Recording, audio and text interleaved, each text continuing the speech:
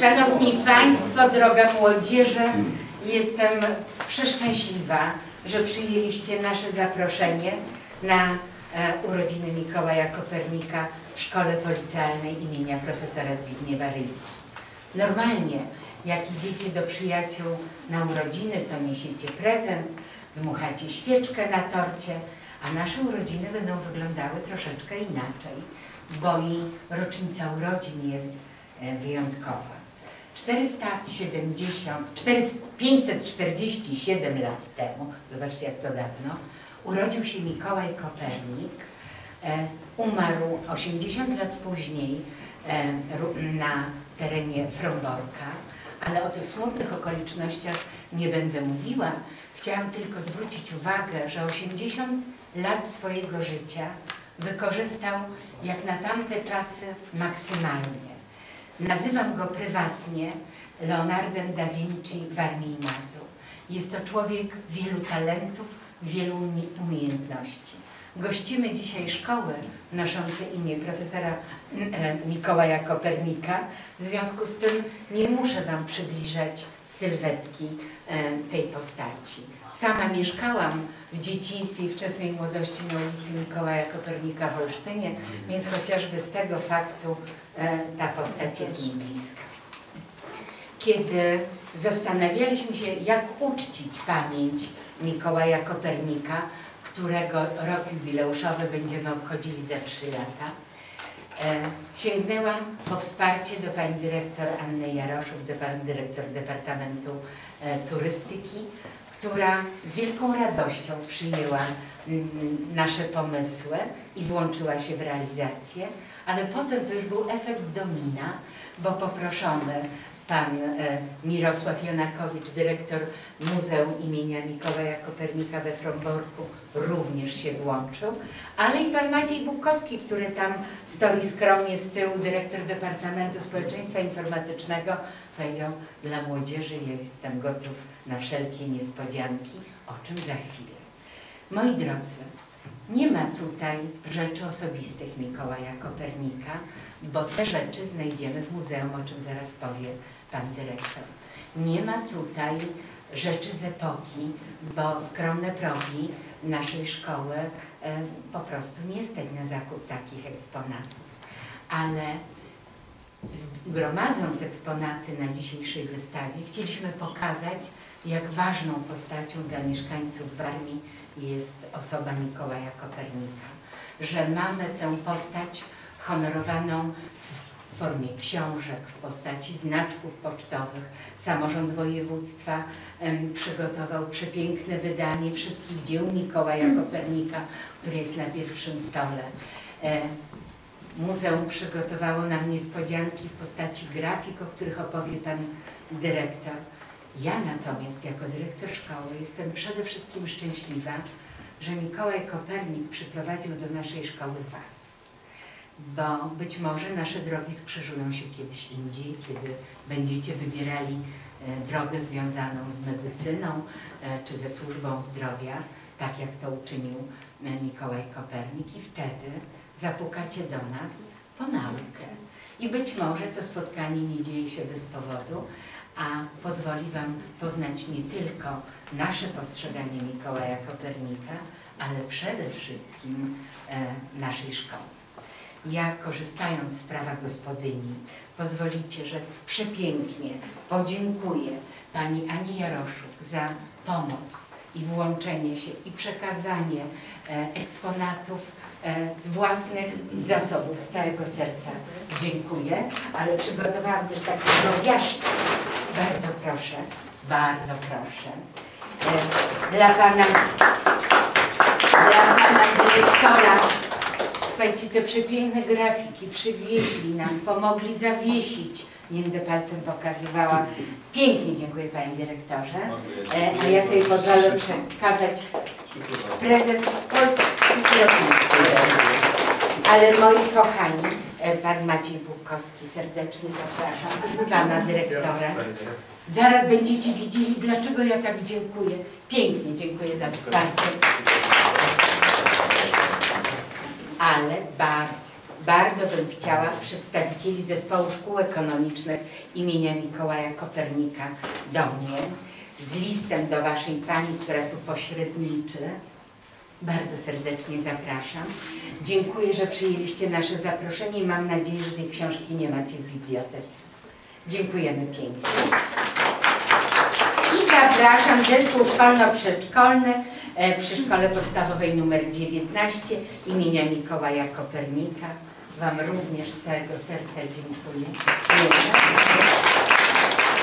Kochani, e, zapraszam pana dyrektora Muzeum imienia Mikołaja Kopernika, żeby zabrał głos. Ja wam powiem tylko tyle, że jak sama osobiście odwiedziłam to muzeum, to wróciłam z niego oczarowana i zakochana w ogrodzie ziołowym, który tam jest wokół muzeum.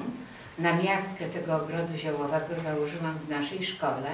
Służy on naszym technikom farmaceutycznym i e, wszystkich Was, jeżeli nie byliście, e, to polecam to muzeum. Koniecznie pojedźcie, bo bardziej klimatycznego muzeum na terenie naszego regionu nie ma.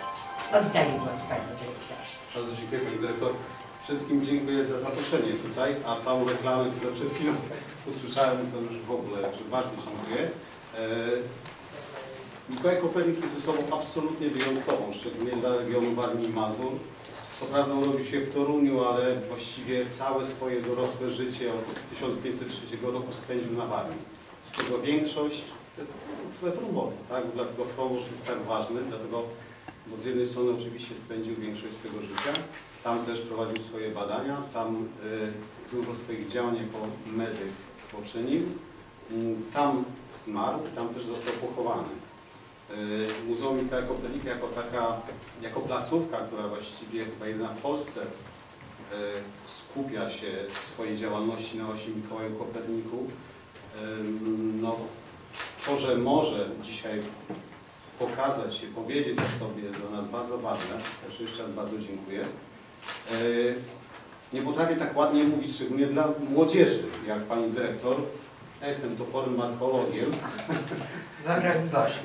Natomiast e, przede wszystkim chciałbym powiedzieć, że Muzeum Mikołaja Kopernika to wiele rzeczy ciekawych, które dla Was tam, tam są bo z jednej strony pokazujemy Mikołaja Kopernika, e, rzeczy z nim związane, czyli to, że był astronomem, że był medykiem, że był ekonomistą, że był strategiem, e, bo on w tym swoim długim życiu, ale dosyć też takim skomplikowalnym, e, wiele tych aspektów e, miał okazję rozwijać i wielu z nich naprawdę stał się osobą znaczącą i przeszedł do historii.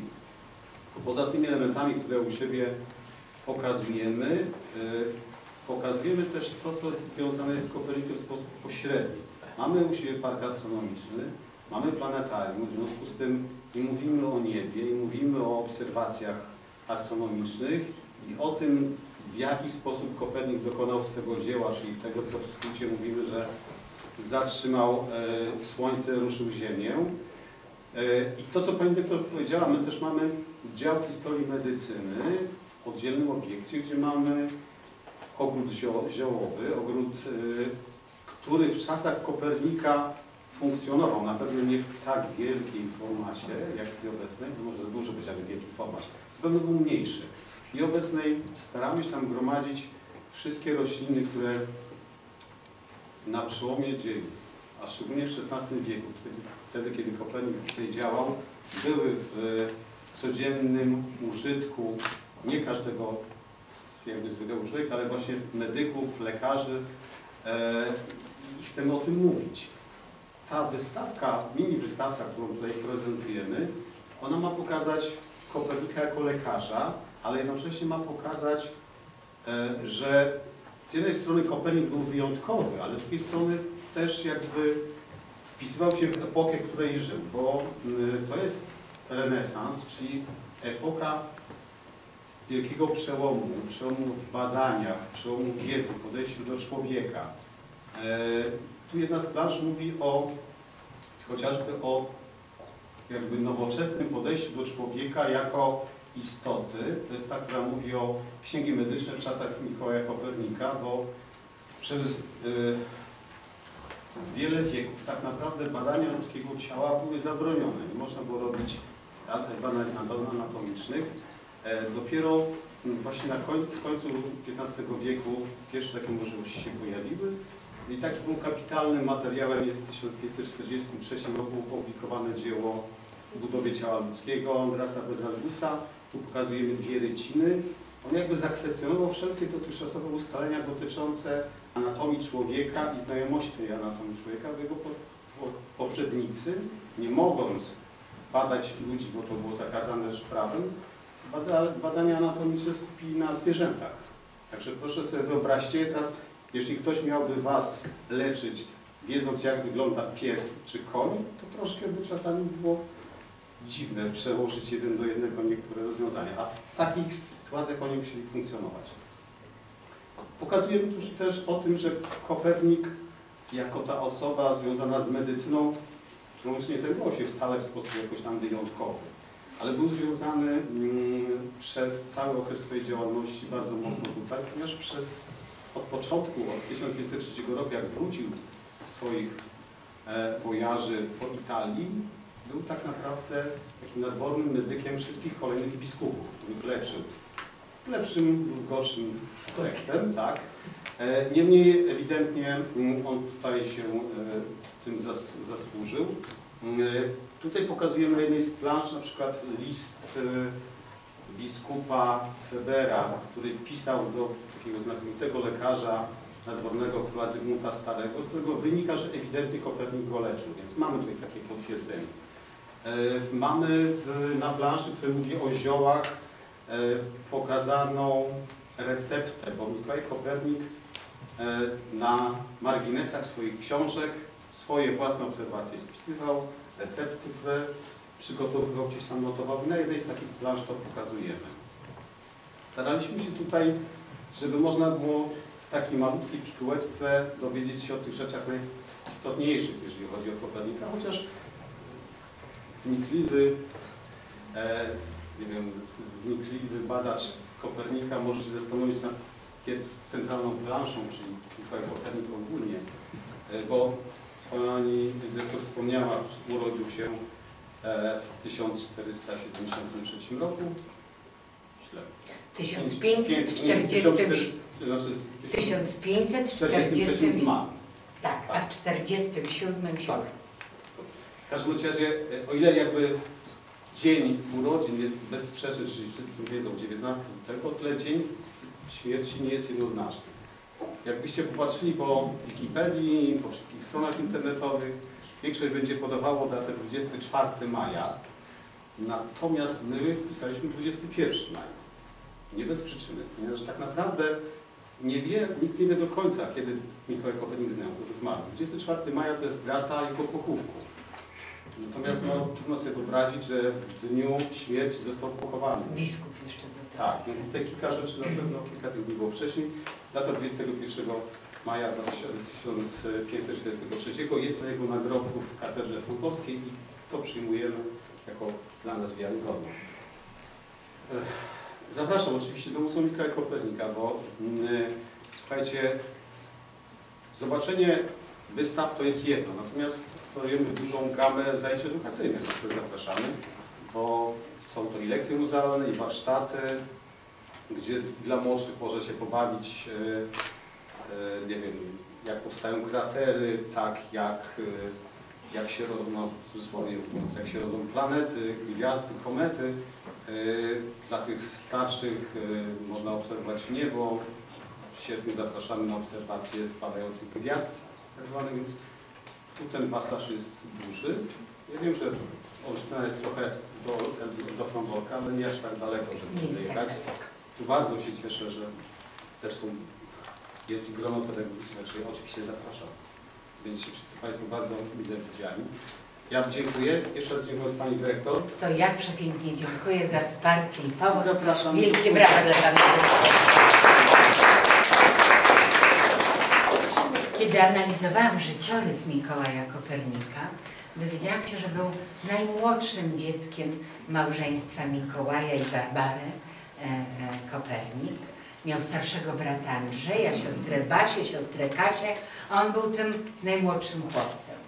E, Wy sami wiecie, że jak się ma starsze rodzeństwo, to jest taka ogromna chęć do psikusów, ciekawości świata. I może z tego faktu wynika, że Mikołaj Kopernik ciągle dążył do wyjaśnienia pewnych zagadek. Ale nie myślcie, że myśmy dla Was nie przygotowali niespodzianek. E, niespo- I tu kwestia niespodzianek to obecni nasi goście. Serdecznie zapraszam Pan, Państwa dyrektor.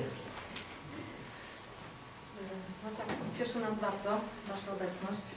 E, Wystawa była zaproszeniem, otwarciem na postać Kopernika. Mnie pochłonął bez reszty. Co przeczytam o nim, to głębiej wsiąkam. E, Wydaje mi się, że jest postacią, która powinna również inspirować Was, bo chodzicie do szkoły imienia Mikołaja Kopernika, a to trochę zobowiązuje, bo dokonał odkrycia niezwykłego. To zmieniło losy całego świata i myślę, że macie tego świadomość. E, Natomiast my w skali mikro zachęcamy do odkrywania Kopernika.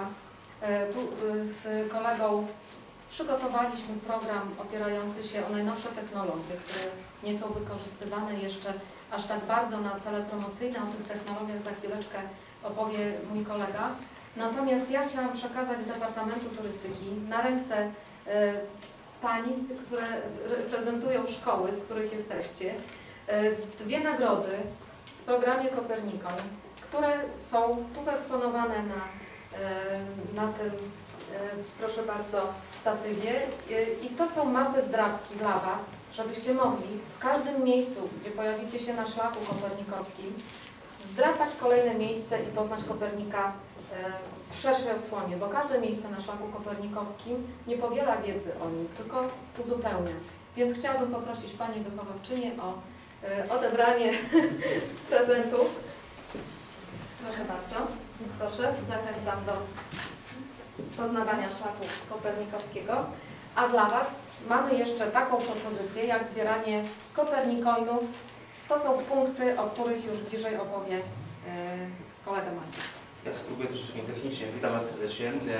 E, Jestem dyrektorem departamentu, który zajmuje się ogólnie informatyką. Projekty informatyczne, komputery, żeby to wszystko działało, a także no, różnymi działaniami właśnie w zakresie też zwiększania pewnej świadomości, kompetencji. No, ja może nie tak blisko jestem Kopernika, ale im wchodząc głębiej w historię tego człowieka, tej osoby, wybitnego mieszkańca, tym coraz bardziej jestem pochłonięty tą osobą, wręcz E, Także będąc, będąc na wakacjach, zwiedzając właśnie miejsc, gdzie mieszkał we Włoszech, gdzie, gdzie, gdzie, gdzie, się, gdzie się uczył. E, Słuchajcie, i zeszliśmy w, pomyśleliśmy, co zrobić, żeby to, w- jak poznać Kopernika. E, Jesteście młodymi ludźmi, którzy w większości korzystają w tej chwili z narzędzi informatycznych, tak? Z komputera, z telefonu, z tabletów i co? Pierwsza rzecz, którą dla Was mamy, tak już od, od kilku lat organizujemy konkurs informatyczny odnośnie Mikołaja Kopernika. Tutaj ekonomik zawsze y, czynnie uczestniczy, uczestniczy w konkursie, bardzo, bardzo fajne prace, ale zachęcam Was także Was do udziału w tym konkursie. W tym roku y, też ten konkurs się odbędzie. Y, y, Zachęcam Was do śledzenia strony Głównego Urzędu Marszałkowskiego, gdzie będą informacje odnośnie ogłoszenia. W tym roku lecimy w kosmos, tak? Czyli idziemy już kierunkowo e, w zakresie tego, co Mikołaj Kopernik by robił w kosmosie, czym by poleciał, jakby poleciał. Tutaj będzie naprawdę e, tylko wyłącznie uruchomić wyobraźnię. Taką jak właśnie miał Mikołaj Kopernik, to osoba wszechstronna, interdyscyplinarna, czyli tutaj mieliśmy, mowa mieliśmy o kwestii elementów medycznych, tak? Ale to, co, co wszyscy wiedzą, tak? Astronom, e, eko, e, ekono, ekonomista, tak? Osoba wszechstronnie, wszechstronnie uzdolniona ale także przygotowaliśmy dla Was y, y, coraz więcej wchodziły te elementy informatyczne, tak? czyli kwestia wejścia na szlak Mikołaja Kopernika, gdzie macie informacje na temat, gdzie Mikołaj Kopernik żył w naszym terenie, informacje, co robił w danym mieście, w danym obszarze, to zachęcamy do wejścia na stronie szlakkopernikowski.pl. Tutaj wraz z Departamentem Turystyki prowadzimy tą stronę w zakresie i technicznej, i merytorycznej, czyli jakbyście chcieli coś więcej się dowiedzieć o Mikołaju Kopernik, zachęcamy tam. Możecie sobie wejść po, map, po mapce, zobaczyć, gdzie Mikołaj Kopernik żył, ale także, y, słuchajcie, do zbierania właśnie, tak jak tutaj y, Pani doktor powiedziała, kopernikoinów, tokenów okolicznościowych, punktów za miejsca, gdzie właśnie będziecie odwiedzać Kopernik, a także za korzystanie właśnie, za zbieranie w interaktywnej grze, w misji Kopernik, y, gdzie możecie chodzić po mieście i zbierać tablice, tablice Mikołaja Kopernika, różne elementy, tak jakbyście grali w Pokémony, w grę, tak? Podobno w zasadzie wirtualnej rzeczywistości chodzicie, zbieracie i Panie po- dyrektorze, ale gra z nagrodami, co jest Właśnie najważniejsze. tak, po zebraniu, po zebraniu pojęci ilości tokenów, tam będziecie mieć wszystkie informacje na stronie, czy Wam rodzice po- pokażą, czy tutaj zachęcamy tych wszystkim nauczycieli, także do zwiedzania właśnie Mikołaja Kopernika, też przy wykorzystaniu nowych technologii, żeby zachęcić właśnie młodzież, też nie tylko wyłącznie tą takim e, suchą informacją, ale także troszeczkę w takie wejście interaktywne, gdzie, gdzie, gdzie te nagrody będziecie mogli wymienić właśnie za punkty, tak? Macie tam różne rodzaje plecaki, y, bidony, breloczki, także te mapki, zdrawki, plecaki, gdzie właśnie poprzez aktywności będziecie mogli te wszystkie punkty zdobywać. Na temat technologii nie będę wchodził, słuchajcie, bo to technologia jest dość, dość yy, nowoczesna i jeśli ja bym tutaj wszedł, to sądzę, że po kostkach byłby kopany, kopany, żeby po prostu yy, nie, nie wchodził głęboko, ale zachęcam Was, tak, że tutaj jako, jako departament, yy, czy jesteśmy dla Was, żeby Wam troszeczkę też więcej o tej technologii, jeśli chcecie na przykład zobaczyć, jak wygląda praca informatyka, z czym się wiąże praca informatyka, jak informatyk pracuje, zachęcamy do Was, tak? Zawsze jesteście tutaj, moi koledzy z zespołu zawsze z chęcią po- podzielą się Wami informacjami na temat, jak na przykład się nowe sposoby nauczania poprzez y, naukę kodowania, wykorzystywanie nowych narzędzi, komputer, komputera, jak tworzyć programy informatyczne, to wszystko my jesteśmy w stanie Wam zachęcić, ale tutaj, żeby już nie przedłużać, zalecam, zachęcam Was do poznania Kopernikoina, yy, wejście w grę Misja Kopernik, zdobywanie Kopernikoinów, wymiany, wymiany, wymiany, wymiany ich y, na punkty, ale także niespodzianka, także tutaj mamy Tak, w tym miejscu, dzisiaj jest szczególny dzień, od dzisiaj można w tym miejscu spotkać ducha Kopernika. On jest umieszczony w tym budynku, wystarczyłoby skorzystać z podpowiedzi, tutaj było przy wejściu, ale króciutko powiem, poprzez aplikację, zrobić sobie z tym duchem zdjęcie i wysłać z hashtagiem y, Szlak Kopernikowski, z hashtagiem Kopernikoin y, na, na kontakt tutaj do Departamentu Społeczeństwa Informacyjnego i wtedy uzyskujecie trzy kopernikoiny do zachęty do gromadzenia tych kopernikoinów. Trzy kopernikoiny to również możliwość wymiany na pierwsze nagrody. E, To są breloczki i magnesy, ale zachęcam do zbierania kopernikoinów przy każdej okazji. Czy to jest noc Perseidów na wakacjach, kiedy obserwujemy spadające gwiazdy we Fromborku, w Olsztynie, w Lidzbarku Warmińskim, w Truszczynach. Jest dużo miejsc w województwie, w których te kopernikoiny można zebrać. Informacje o tym są na stronie internetowej szlakkopernikowski.pl e, i też na stronie internetowej niebawem pokażą się kolejne gry z cyklu Pogoń za Kopernikiem. W tych grach trzeba spacerować, odpowiadać na pytania, e, rozwiązać hasło i zdobyć punkty. A dzisiaj można zrobić zdjęcie z duchem. Do czego zachęcam? I on jest tu gdzieś niedaleko, słuchajcie. Tutaj mm, nie, żebym zajmowała jego miejsce, absolutnie. E, Ja się nawet wycofam. Czy potraficie pobrać aplikację?